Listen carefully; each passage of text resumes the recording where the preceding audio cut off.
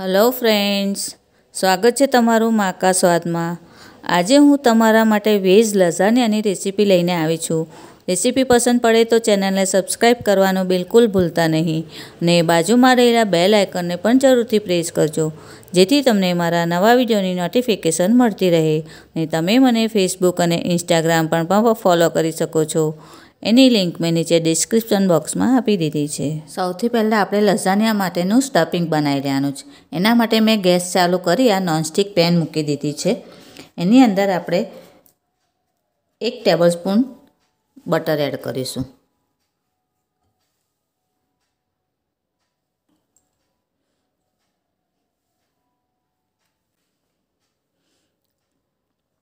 હવે આપણો આ બટર મેલ્ટ થાય છે તો એની અંદર મેં આ એક ઝુકીની, ત્રણ નંગ ડુંગળી અને બે નંગ કેપ્સિકમ. એ લીધા છે. એને આપણે એડ કરી દઈશું.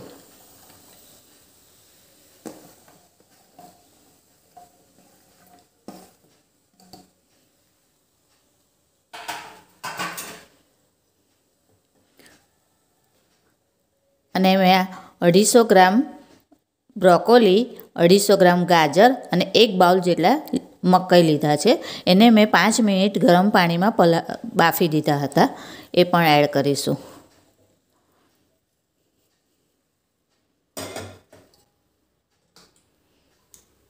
હવે આપણે આને બહુ નથી કૂક કરવાનું. પાંચ કે સાત મિનિટ સુધી જ કૂક કરવાનું છે.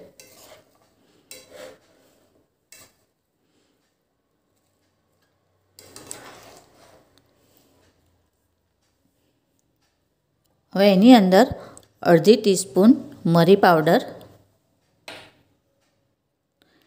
એક ટેબલ સ્પૂન જેટલા ચીલી ફ્લેક્સ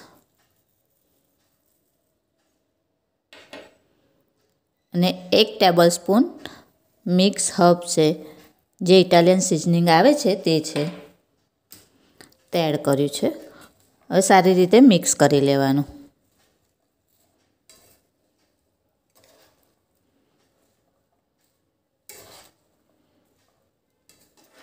હવે એની અંદર સ્વાદ મુજબ મીઠું એડ કરીશું. સિઝનિંગમાં પણ મીઠું હોય છે, એટલે મીઠું થોડું સાચવીને એડ કરવાનું.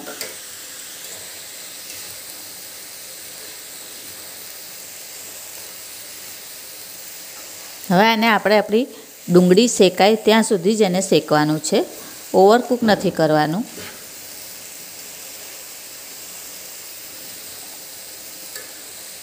આપણી આ ડુંગળી શેકાઈ ગઈ છે. જો એની નીચે એકદમ ડ્રાય થઈ ગયું છે. જે ડુંગળીનું પાણી છૂટ્યું હતું, તે બધું આપણે શેકાઈ ગયું છે, બળી ગયું છે.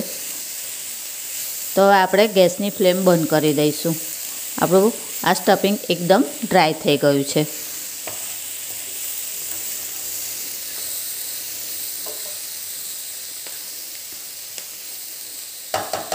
તો આ રીતે હવે આને થોડીક વાર રહેવા દઈશું. હવે લસાનિયાને આપણે એસેમ્બલ કરવાનું છે. એના માટે રેડ સોસ અને વ્હાઇટ સોસ બનાવ્યો છે. એની રેસીપી મેં મારી ચેનલ પર પહેલાં બતાવી દીધી છે. એટલે હવે આપણે એને એસેમ્બલ કરી દઈશું. જે નોનસ્ટિકમાં આપણે સ્ટફિંગ બનાવ્યું હતું, એની જ અંદર આપણે એસેમ્બલ કરવાનું છે. તો નીચે પહેલાં આપણે રેડ સોસ પાસ, રેડ સોસનું લેયર કરીશું.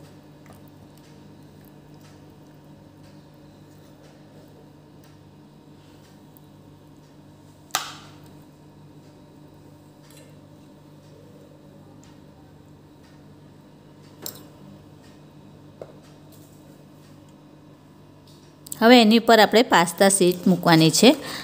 આવી રેડીમેડ પાસ્તા સીટ મળે છે. Instant lasagna pasta sheet lasagna sheet એને મેં એક કલાક પહેલાં થોડી ગરમ પાણીમાં પલાળી દીધી હતી. તે આપણે અહીં આગળ આવી રીતે ગોઠવી દઈશું.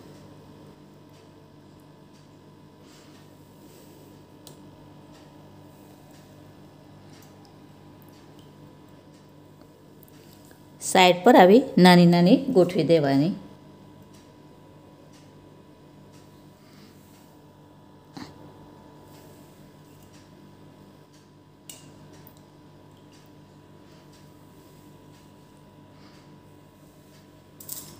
હવે એની ઉપર ફરીથી રેડ સોસ લગાવી દેવાનો.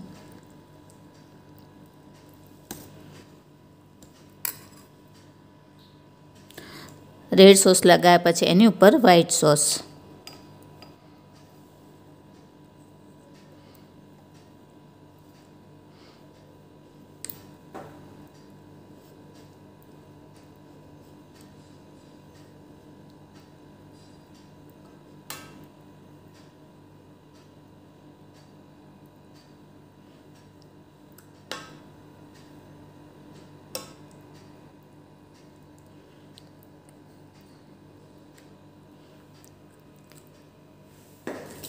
હવે એની પર આપણે જે આ સ્ટફિંગ બનાવ્યું હતું એ પાથરી દઈશું.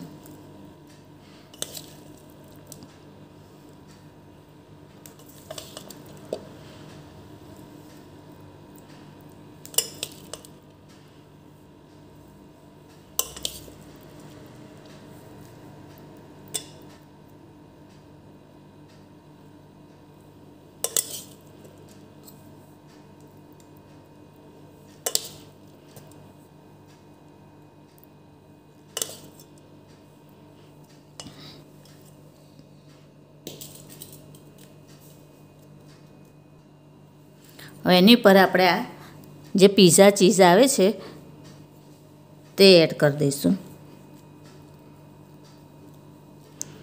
આપણે એકદમ ચીઝી બનાવવાના છે.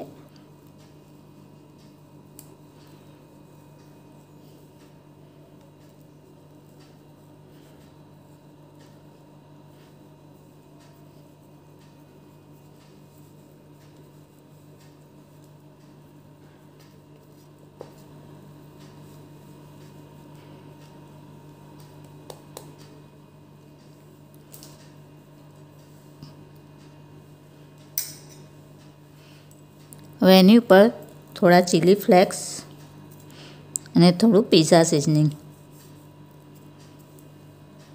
ફરીથી પાછી આપણે સીટ મૂકીશું.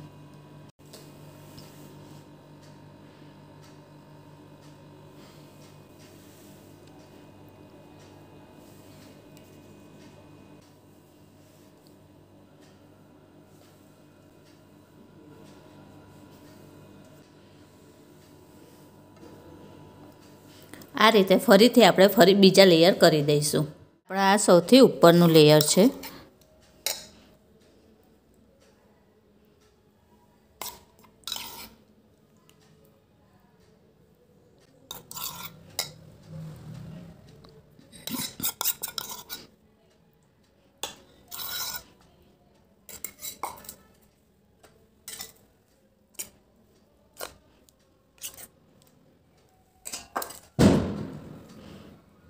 હવે આ બંને સોસને આપણે મિક્સ કરી દઈશું.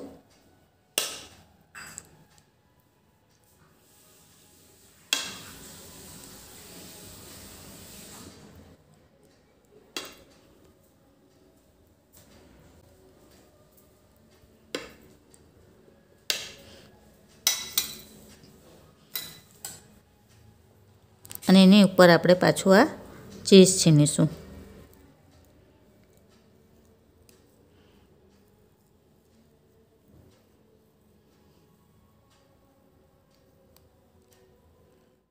હવે આની ઉપર ફરી પાછું આપણે સિઝનિંગ કરીશું. ચીઝ આપણે આપણી મનપસંદ લઈ શકાય છે, વધારે કે ઓછું પણ કરી શકાય. હવે એની ઉપર આપણે ઓલિવ્સ મૂકીશું.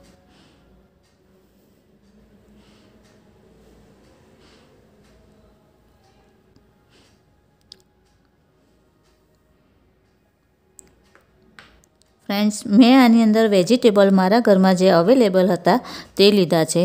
તમે તમારી રીતે પણ લઈ શકો છો જે તમને મનપસંદ હોય તે.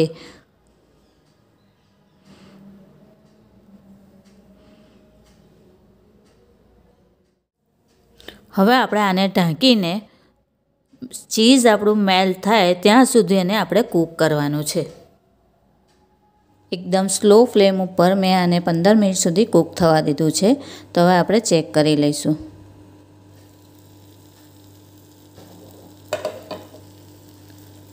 આપણું હવે આ ચીઝ મેલ્ટ થઈ ગયું છે. તો આપણે ગેસની ફ્લેમ બંધ કરી દઈશું. તો આપણા એકદમ ચીઝી લઝાનિયા તૈયાર છે. ફ્રેન્ડ્સ, તમને મારી આ રેસીપી પસંદ પડી હોય તો તેને લાઇક અને શેર જરૂરથી કરજો. ચાલો ત્યારે ફરી મળીશું એક નવી રેસીપી સાથે. ત્યાં સુધી હેપી કુકિંગ. Thank you.